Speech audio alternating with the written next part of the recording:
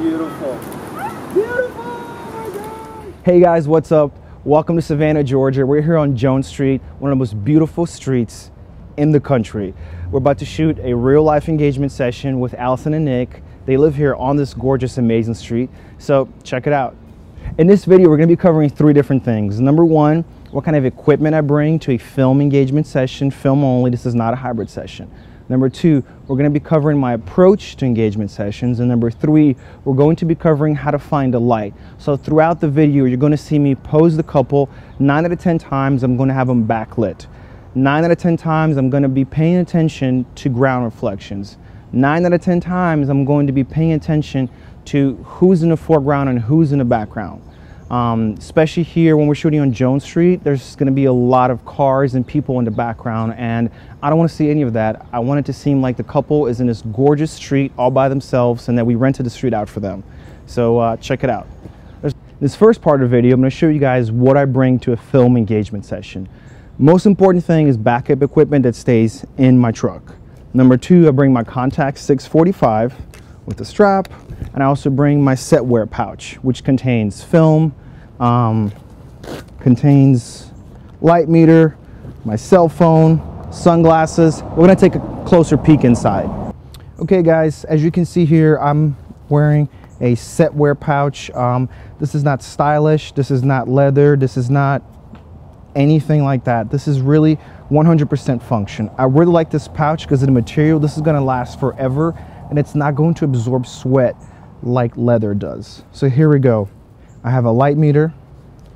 I have my huge cell phone. I have sunglasses, keys, and all my film. Boom. This is all I need. Okay. I also have some bug spray because this is Savannah. The cool thing about this pouch is that there's space for everything. You can put your your um, cell phone, you can put your keys, your wallet, your sunglasses can go outside if you want. You can really do anything with it. And it kind of hooks up to your belt right here. So really practical, really comfortable, and I highly recommend using something like this. I'm gonna go over very quickly about what kind of camera setup I use. Um, if you want a more in-depth description of my setup, there's another video that you can check out right here in the description.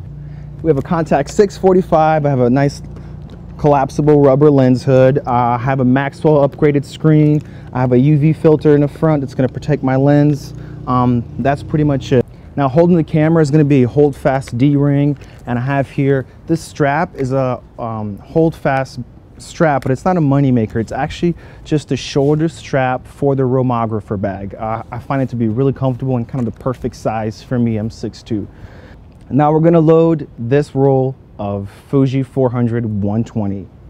Okay guys, this is the back of the Contax 645. I'm going to up, open up this little latch. I'm going to press right here. We're going to open these up. Boom. I'm going to peel that out, put it in my pouch. Line these little suckers up. Boom. Keep my finger right here so we can keep a nice bit of tension. Oops, first we're gonna put that through there. Keeping my finger here for the tension. That little tooth right there, I wanna make sure that that goes as far back as possible to keep that really, really tight there. I want the film to stay really tight. Next, oops, actually, you know what? It's not very tight right now because I moved it. So I'm gonna do that one more time. Right there. Perfect. Now it's tight. It's to go right here. Last but not least, that last click, you definitely want to hear that. I'm to close. I'm to put that down. To turn my camera on.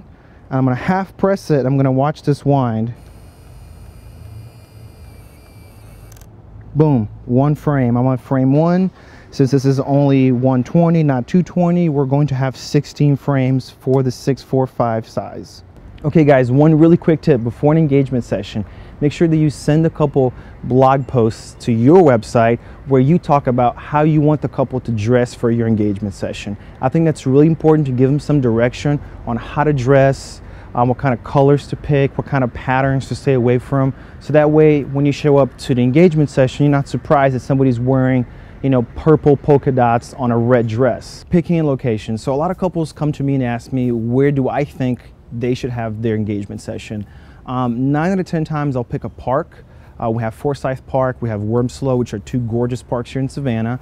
Sometimes um, couples want to kind of stay away from that and they want something a little bit more urban. So we'll shoot on, on a street like this, um, which is still a gorgeous street. It still has beautiful, majestic oaks, but at the same time, we see historical buildings, we see gorgeous cobblestones, so you still get a mix of the two locations. One of the biggest benefits about an engagement session is breaking the ice with the couple. They get to know how you work, you get to know what kind of poses they're comfortable with, you get to know what makes them laugh, what makes them uncomfortable, and I think that is a really big bonus before the wedding. All right, now metering. Just so you guys understand this, rating, metering, and exposing are kind of three different things. I'm gonna be shooting with Fuji 400. I'm going to rate that inside my meter at 200 ISO. I'm going to meter it bulb in at a 45 degree angle from the couple. So you'll see me do this a lot. I'm gonna come right here underneath their chin, probably which is gonna be the darkest area of the subject. I'm gonna meter right here. As far as aperture, my aperture will probably stay at 2.8 95% of the time. Sometimes I'll go down to 2.0, sometimes a 5.6, but I'd say 95% of my photos are taken at 2.8. Now talking about manual focusing real quick, if you're transitioning from digital, you're gonna have a little bit of trouble manual focusing at first, especially if you don't have an updated screen. If your camera is 10, 20 years old and your screen is 10, 20 years old, your focusing screen, that probably means it could be a little yellowish, it could be a little dark.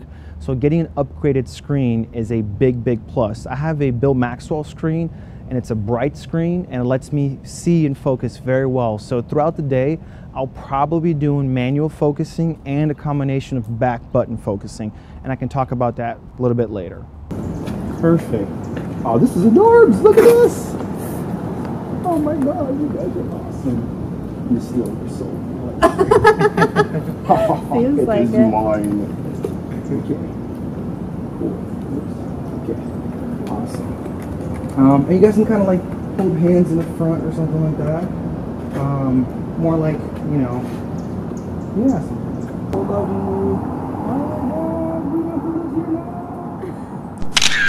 Wrap your right now.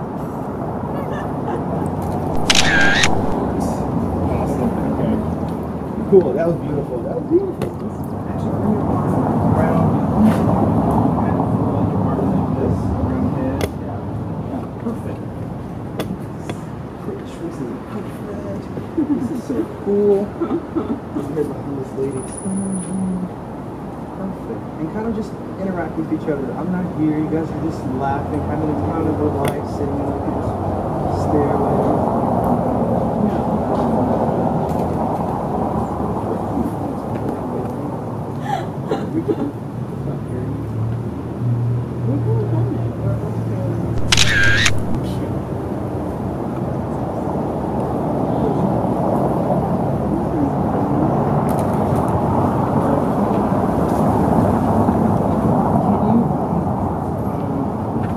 I'm gonna cheat real quick because I want her to lay on your shoulder. She does that now.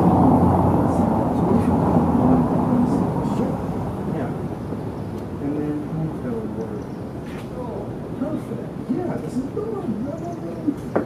Oh, oh, that's perfect. And kind of, um, yeah, I like that. You're kind of like reaching up to him a little bit. Yeah. Perfect.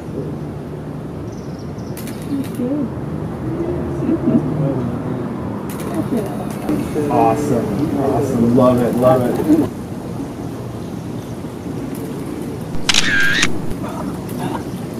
Awesome. Awesome. Beautiful. Do like the biggest smiles afterwards. You guys are like you guys are like whispering stuff and afterwards it's like, oh my god, we just said that, nobody heard us. Um, we'll start walking back.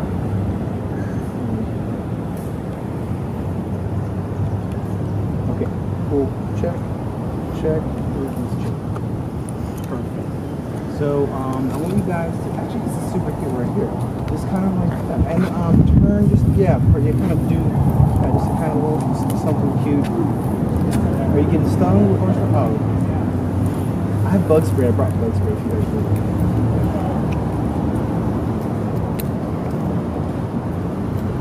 of just stand there looking cute. Yeah, however's comfortable.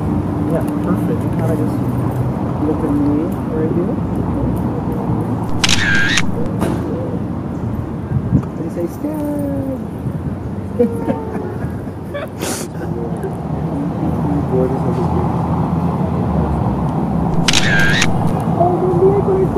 Oh, awesome. I saw that too. Right there. This awesome. You guys, do that again a second. Um, stay there, kind of like, like forehead to uh, go, go. Like, actually, ooh, I love that. I love that. Also, look at me. You kind of have your, just like, have your just nose buried in your hair, like you're just getting a good whiff of it. Yeah. There you go. You whisper sweet nothings. Little creepy. You can whisper dirty things too, like you're not going.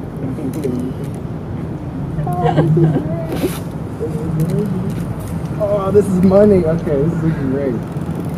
Alright, give me a second. Guys, look at your company. At your company. This is adorable. I don't want you guys posing. You guys look so great when you're doing your thing. Laughing at each them. other. Thinking everything is hilarious. You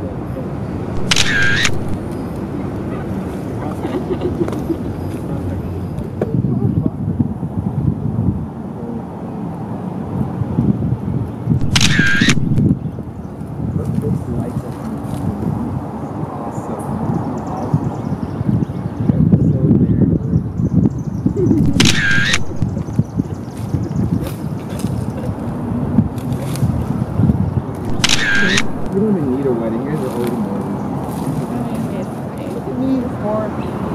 You're gonna be looking at her super smiley and you're looking at the camera. I was looking at the camera. Perfect. And just action. Beautiful. Beautiful! Oh I couldn't resist. I took three photos because you're so gorgeous. You guys got, the better it looked. Hey everyone, thanks so much for tuning in. I really hope you learned a lot. Um, don't forget to like, follow, and share, and I'll see you next time.